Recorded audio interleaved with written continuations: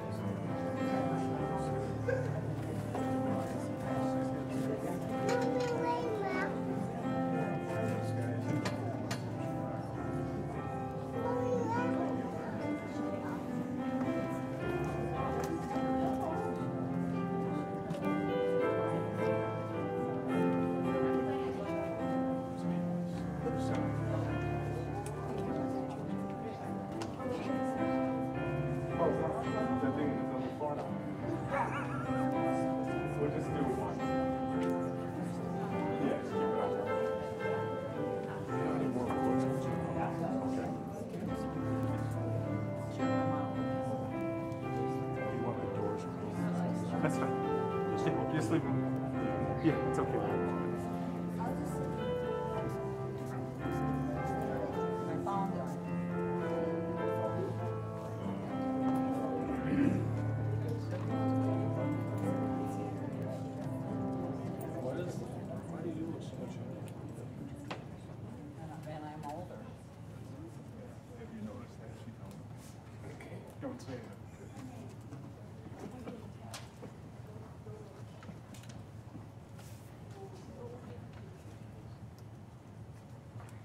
Oh.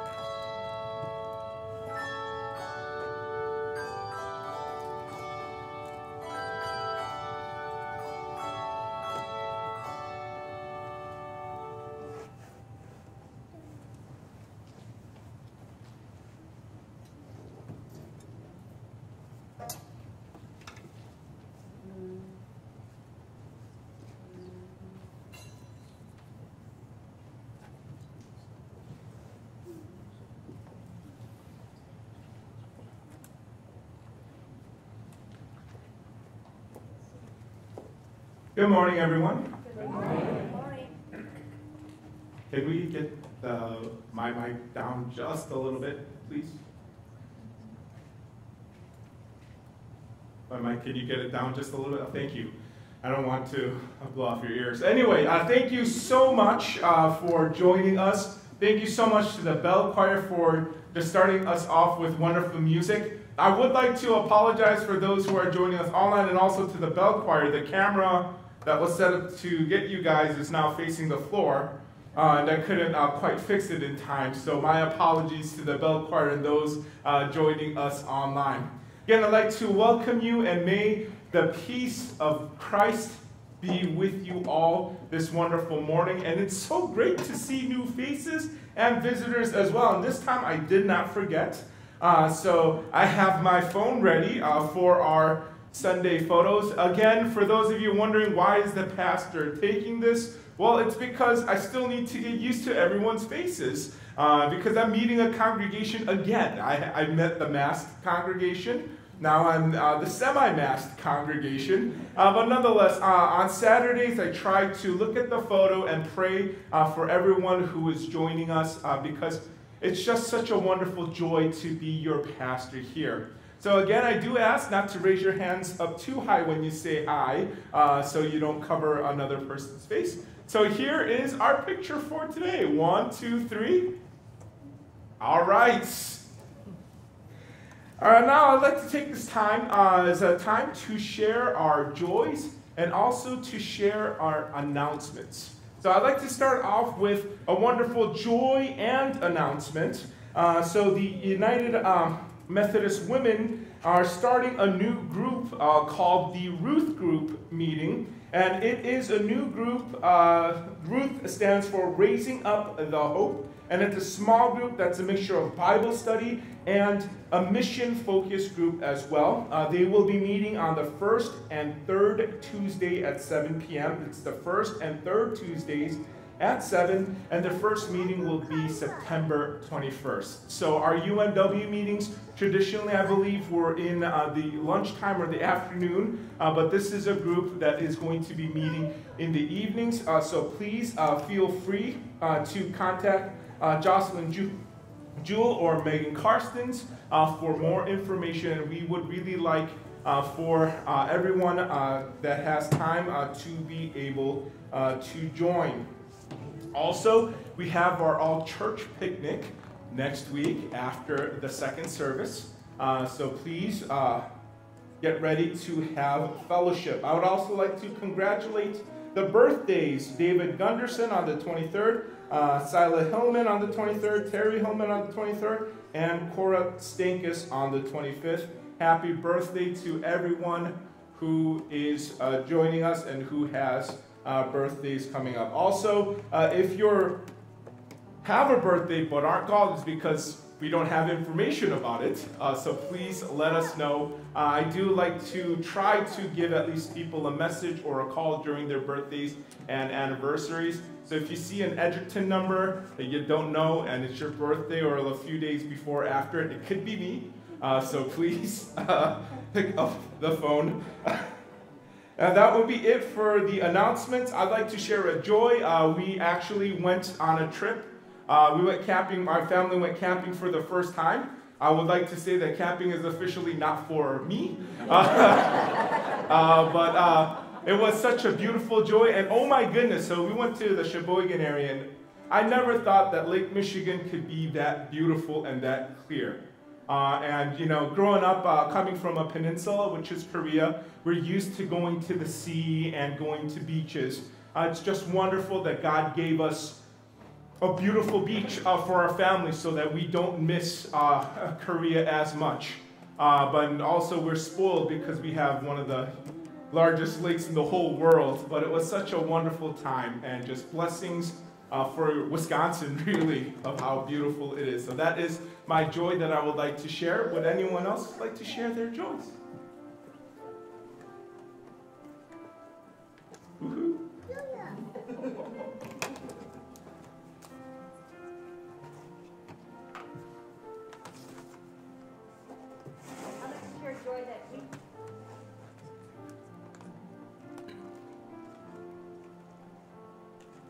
like to share joy that we went camping um, last week or two weeks ago as well.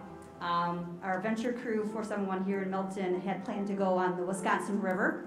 Um, unfortunately, with all the recent rains that were up north, um, that got canceled, so we did the Kickapoo River instead and had dealt with the aftermath of a flash flood up there with all the mud on the landings to putting in and putting out of the canoes and camping and everything. But it was a blast for the kids and they had a good time, so everyone was safe. So thank the Lord for that.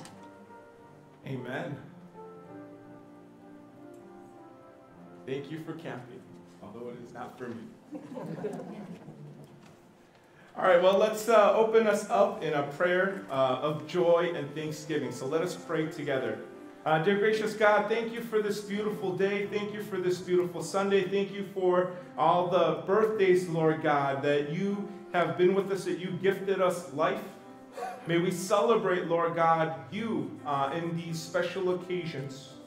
Also, Lord God, thank you for giving uh, us ample places to enjoy the wonderful nature that you have given us, to stay and be in awe of the glory, Lord God, that only the true Creator can make. So, Lord God, as we enjoy uh, your masterpiece, Lord God, may we also find peace in our hearts.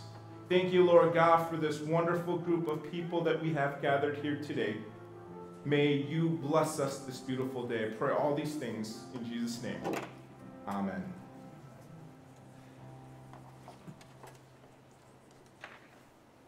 Now let us take this time uh, to sing our opening hymn. Our opening hymn comes from our hymnals number 77, How Great Thou Art.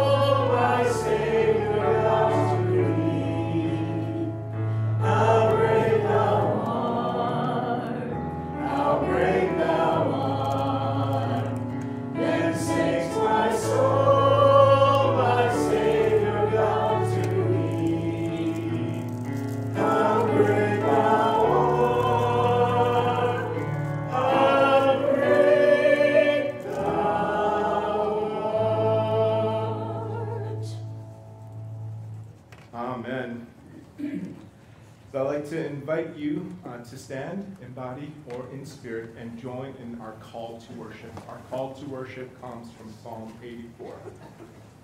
How lovely is your dwelling place, Lord Almighty, My soul yearns, even faints. for the courts of the Lord, My heart and my flesh cry out. for the living God, Even the sparrow has found a home. and nest herself, A place near your altar. Lord Almighty, my King and my God, Blessed are those who dwell in your house. you, Better is one day in your courts. than a thousand elsewhere, I would rather be a doorkeeper in the house of my God. than dwell in the tents of the wicked. Amen. You may be seated. Let us take this time now to offer our gifts to the Lord.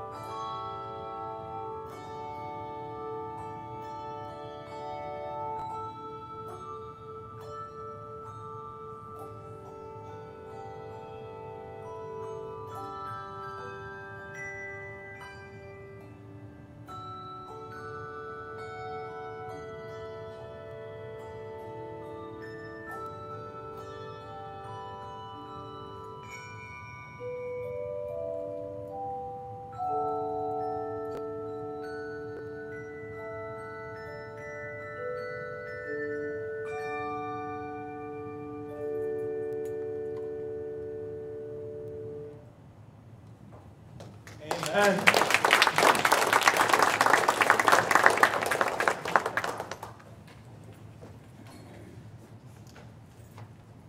us pray for our offering. Dear gracious God, receive these gifts, Lord God. But also, Lord God, receive the music played by the bell choir. Receive our hearts, Lord, as we come to celebrate those who are ringing bells, a harmony for the heavens, Lord God. Receive us, Lord God, as we come with our burdens, with our joys, with our blessings, Lord. Receive everything, Lord God. Receive our hearts, and may it be pleasing in your eyes. May you bless us this day. Give us what we seek. Be with me, Lord, as I preach. May there be less of me and more of you. Be with everyone here for those who are here and also joining us online. May the Spirit move within them. May you give to us what we need to hear. So bless us, Lord God, at this time. For all these things, in Jesus' name, amen. Today's passage comes from Acts chapter 11, verse 26. When he found him, he brought him to Antioch. They were there for a whole year, meeting with the church and teaching large numbers of people. It was in Antioch where the disciples were first labeled Christians. This is the word of God for the people of God. Thanks be to God.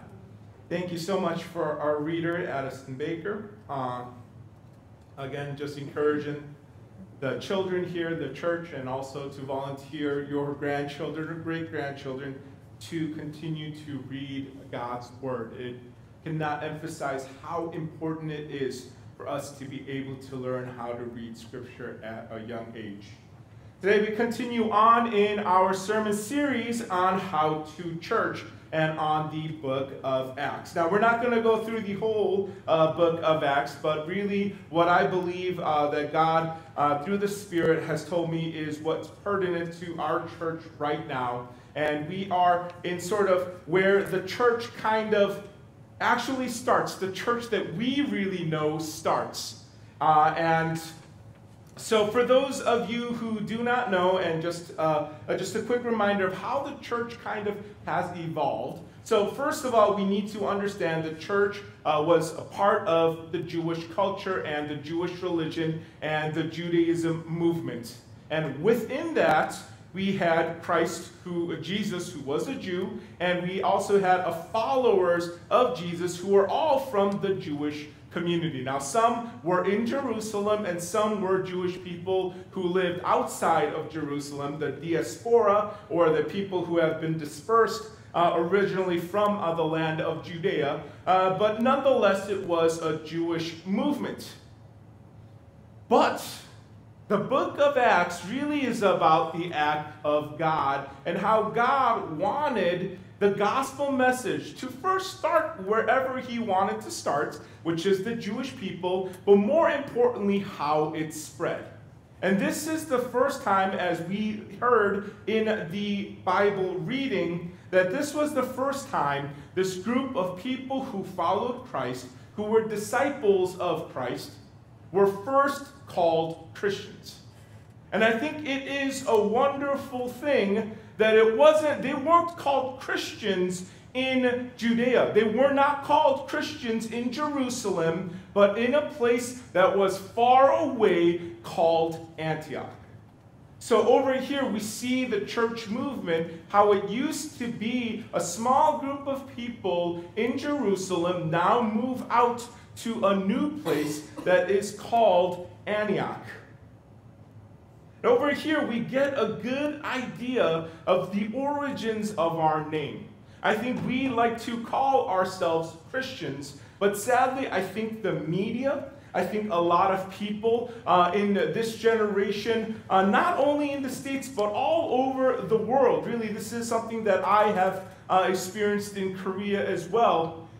We label Christians in a certain light and a lot of times we forget what Christians were all about. So, hopefully, in this sermon, when we look at the origins of our name, when we call ourselves Christians, And when we look at here why we were called Christians, we will have a better idea of what our identity is. And it is really important because the name is our identity. As much as we don't think much of names, what I've soon realized and come to realize is that the labels that are given to us really make up an identity. I don't I don't know if you know, but like the way I look at people are different when people I just meet people and then I ask, "What do you do then?" if you don't mind me asking, and they say, "I'm a nurse" or "I'm a doctor." It's just something different. Or when they say, I'm a teacher, they're just something different. And it's just for every single job as well. I think as, you know, when I uh, used, now that I'm doing like home stuff, now like the word electrician, there's, or, you know, or plumber, it has a new meaning for me now. There's a newfound respect. I'm like, wow, wow. But, you know, when we look, are the labels that we have, are the names that we have, really show a lot more of our identity than what we think. And it's really important for us, especially in this day and age where really Christians are, at least in the media or the, the news feeds that I get, aren't really viewed in a positive life, for us to reclaim what it means to be a Christian. But how do we reclaim it? We go back to the origins of the name to see what Christianity was all about. Also, it helps us and it helps, it keeps us in check. There's this saying, right? Don't forget where you came from. Uh, now, you might be thinking, oh, that's just an American saying, but there is a, a, a Korean equivalent saying as well. It's, uh, you know, you were a tadpole once. Uh, that's what they say. Uh, it's, you guys get it? Apple, frog, just because you're jumping around on me. Anyway, it's to keep humble. It's, it's to keep humble and to recognize who you really are. And a lot of times, because of God's blessings, and sometimes God's blessing, because we are sinful, ends up being a curse to us. But sometimes, because God has given blessings upon blessings, God has bestowed blessings upon blessings to us, we can forget where we originally come, why we are called Christians. Sometimes, us as Christians, we think that our faith is a right that we ought to have instead of a blessing. Our faith is not a right, it's a blessing.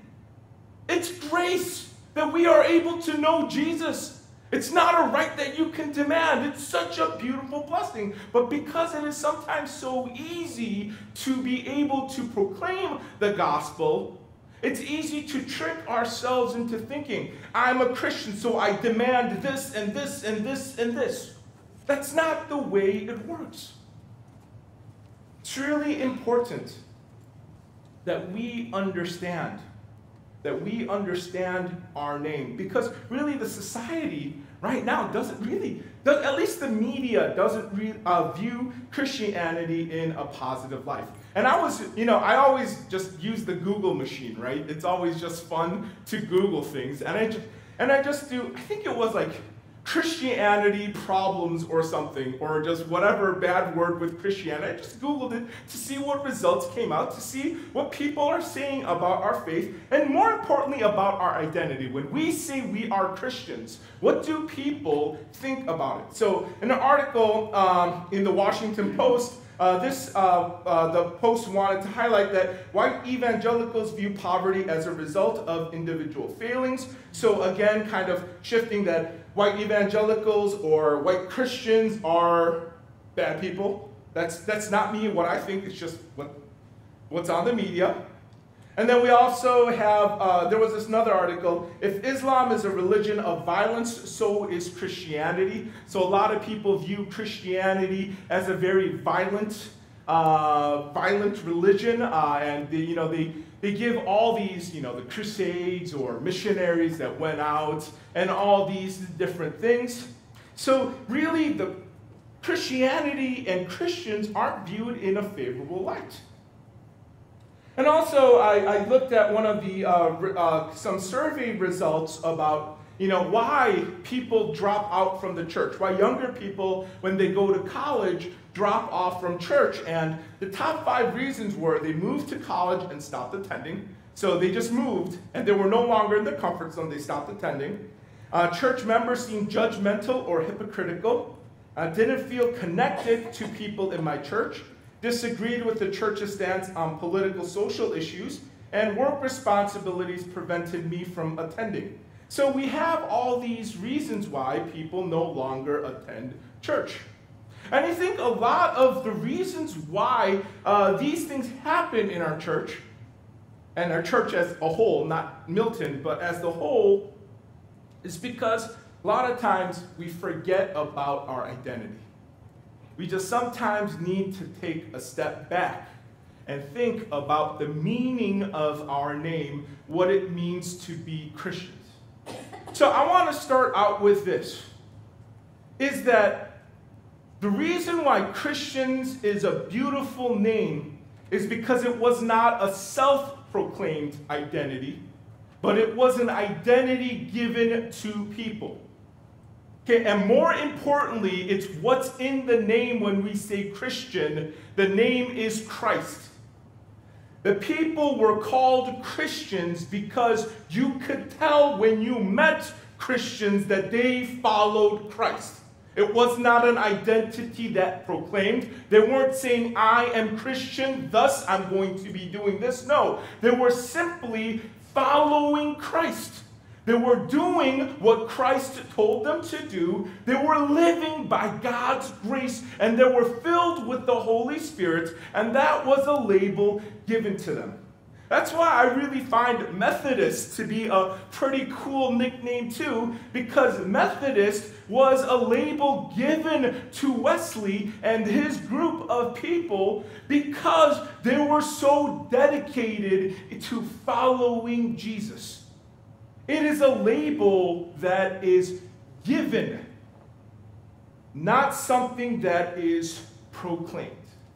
I think it's really important for us to understand that. And when we put that into perspective, I think that we end up having a grateful mind. If you start proclaiming that you're a Christian, a lot of times we can fall into that trap of saying, I'm a Christian, so therefore this and this and this has to happen. But when we think of Christian and us being called Christian as a label that other people view us when they look at us and they give to us, then things start looking different. It keeps us more accountable for what we do. And that's one important aspect of why it's important that the people in the church in Antioch were labeled Christians. It was a label that was given to them.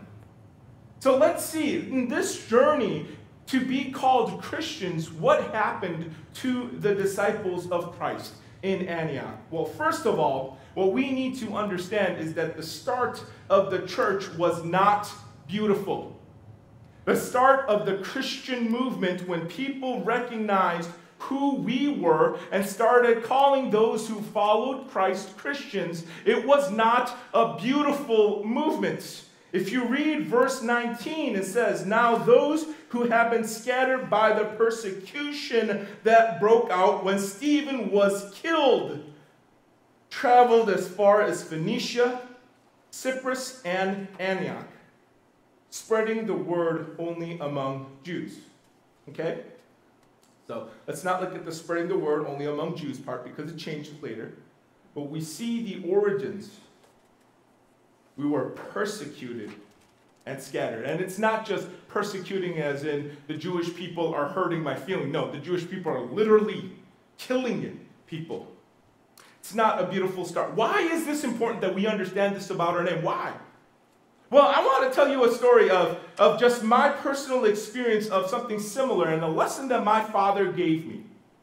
So uh, I don't know if you know or not know, uh, as a Korean citizen, uh, for a Korean citizen, a Korean male, uh, military service is mandatory. And as a 18-year-old, you dread it because you know for two years of your life, you are not going to have a life. And you hear all these horror stories of those who made it. They tell you these stories of man, they make you shovel the ground, and then once you're done shoveling, they just make you fill it back up and they don't tell you why. Or, you know, all these things. And they just tell you these horror stories after the next. And you're like, why? Why, God? Why? Why am I Korean? Like, why do I have to go back to my country and serve? I don't want to do that. And I remember expressing that concern to my dad. My dad said, no, go. Because one thing that you will learn in the military is how little you need to live. And when you understand that, your life, you will be so much freer in your life. Because you won't be afraid of losing anything. Because when you got nothing and you can still survive and thrive, and when you know that about yourself, that is something that you can never earn without going to the military. And that's exactly what I learned. I got nothing. I couldn't take showers. I thought if you sweat and you didn't take a shower, your body would start to rot. No, it just really stinks. But the thing is, if you have 200 people in the barracks that stink, you can't smell a thing. I didn't know it was that bad until I visited the training. And I'm like, the basic training, I go and I couldn't even walk in. I'm like, how did I survive here? But you did. And here's the thing reason why it's important when we understand the origins of our name and we understand that it was not beautiful is because a lot of times churches make poor decisions because they're afraid of losing things. They're afraid of losing comfort. They're afraid of these things that they might lose. They're afraid of losing air conditioning or, or this or that or this or that. And they make a lot of decisions based on fear of what they would lose. But if you look at the origins of our name, what we understand is we started with nothing, and that's the point. That's why Christianity is beautiful. Because it didn't start with some rich person handing out money or, hey, I got some nice things, come to us. No, it just started when we had nothing and everything was Jesus, and Jesus gave us everything. And that is something that's really important for us to remember when we say, I am a Christian, or if someone calls you a Christian. And I think that's the greatest honor. If someone comes up to me and says, Hey, are you a Christian? I'm like, Oh my gosh, God, I'm a sinner, but you have saved me. That's a great honor. And one of the things when we ought to recognize is that the start of the church of Christianity wasn't beautiful. So when we have to follow Jesus, don't be afraid. What do you have to lose? It started this that bad, but it ended up here. It's fine. It's going to be okay because God is with us. The second part about our name and our identity is based on telling the good news. The re- now, this is in verse 20, it says, Some of them, however, men from Cyprus and Cyrene, went to Antioch and began to speak to Greeks also, telling them the good news about the Lord Jesus. Reason why they were labeled Christians was because they were telling the good news about Jesus. That's part of our identity. If we are Christians, we need to be speaking of the good news. It's as simple as that. Now, there's different ways to do it. So, you know, a lot, there's some very not good ways of doing that. But just because there's some not good ways, it doesn't mean that we can stop sharing the good news. It's really not that difficult to just say.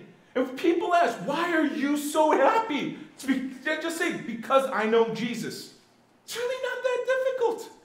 If you say, why are you helping me? If someone in the volunteer programs or wherever, someone asks you, why are you helping me? And you just simply say, well, it's because I love Jesus. That's sharing the good news. And that's what part of our identity is like. But a lot of times we forget that because we because there have been certain cases where a lot of Christians kind of forced Christianity down people. And I was hesitant of that too until I had this assignment in my evangelism class. I was to go to random people and share the gospel message. I thought they would hate me. I thought, I thought, so I went to a Starbucks and started talking about the gospel. I thought, you know, the barista would surely hate me. And, uh, but you know what? This person who did not believe was fascinated about hearing the good news. Not what they hear in uh, the Washington Post that say Christians are all bad or all this, but from actually someone who believes in Christ. to see the happiness and the joy that the Holy Spirit gives. Our identity, our name is based on telling the good news about the Lord Jesus. And finally, the reason why they were called Christians in verse 26. So, for a whole year, Barnabas and Saul met with the church and taught great numbers of people. The disciples were called Christians first at Antioch. Our identity is about learning of who God is, of who Christ is. That is what's in our name. Our name is not about we are Christians, so we will do this, this, or this. Okay, and this, this, this, and this, you can, you can put anything in there, even if it looks like it's something good. That's not what our name is about. We are called Christians because we proclaim the good news. We are called Christians because we want to learn more about Christ. And let us be reminded of that as a church. And as we call ourselves Christians, let us continue to remind ourselves that we are disciples of Christ, that we follow Christ. And that's the reason why we have and we bear the name Christian in our hearts. Amen. And uh, now let us take this time uh, to share our prayer requests and our concerns as well.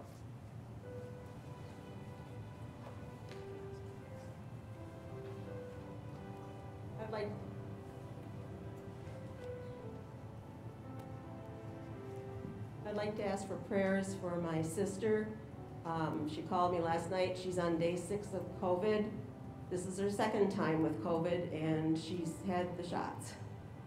And it's, it's being pretty hard on her.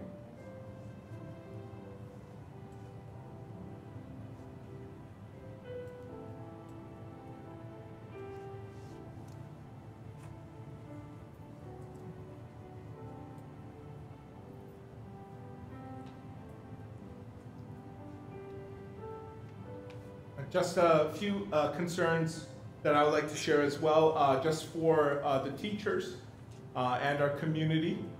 Uh, the school's decision of having a mask being required, I've, I've, seen the Facebook groups and some of them are not taking too well to that. just prayers for everyone. and especially also our preschool as well, because we do follow the school guidelines, that everything would go smoothly just to be with people's hearts. Uh, that, you know, it's a community to be a community of love. And also on a global scale, just continued prayers for Afghanistan. Uh, as uh, you surely seen in the media and the news. Uh, and also I know from accounts from missionaries that go uh, to Afghanistan uh, and uh, the persecution that Christians get there and receive there from uh, firsthand stories uh, that it is really a very difficult time. and really, to follow Jesus means literally giving your life uh, to a lot of people. and just continued prayers for the world.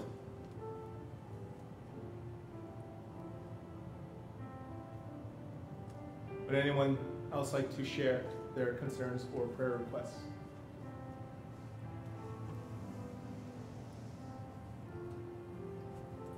Just a couple here. Um, I know my mom mentioned a couple weeks ago about her friend in the hospital. Um, unfortunately, her friend did pass away the other day. So prayers for that family. And then also for the Fenrick family. Um, their um, Noah Fenrick was in a car accident the other day and was med flighted the Madison. So hopefully, he has the uh, doctors and nurses and everything caring for him that he can survive all of this.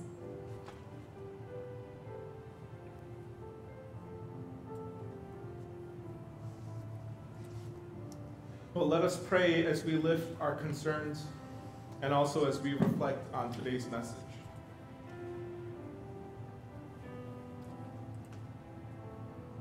Dear gracious God, we lift up our concerns to you, Lord. We lament, Lord God, that there is so much pain in this world, that there is so much suffering in this world. Listen to our cries. Comfort us, Lord God. May we rely on the gospel, the good news that is Christ Jesus. Bless us, Lord God, in this time. I pray for those, Lord God, who are struggling with illness, with COVID. May your healing hand be with those around us, those struggling because they were hurt. May you be with the healthcare professionals. For us struggling because we have lost people dear to us, comfort our hearts and our souls, Lord God, in a way that only you can. So bless us, Lord God, in this time. And truly may our mourning be turned into dancing. For we know that you are good, Lord. Show us your goodness in these times. And I invite everyone here now to end this prayer with the words that our Lord Jesus taught us by praying, Our Father, who art in heaven, hallowed be thy name.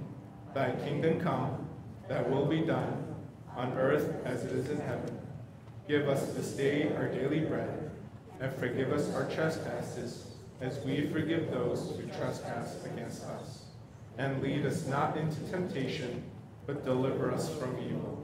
For thine is the kingdom, the power, and the glory forever and ever. Amen. Please join in our hymn of response. Our hymn of response comes from our United Methodist hymnals, number 98.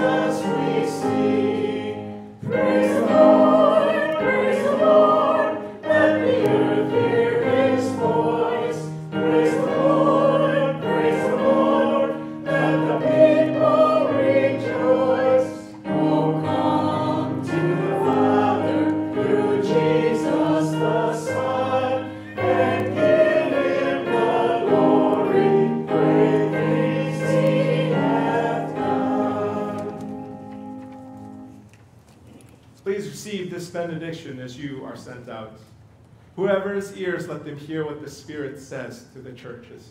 To the one who is victorious, I will give the right to sit with me on my throne, just as I was victorious and sat down with my Father on his throne. May the grace of the Lord Jesus Christ and the love of God and the fellowship of the Holy Spirit be with you now and forevermore. Amen.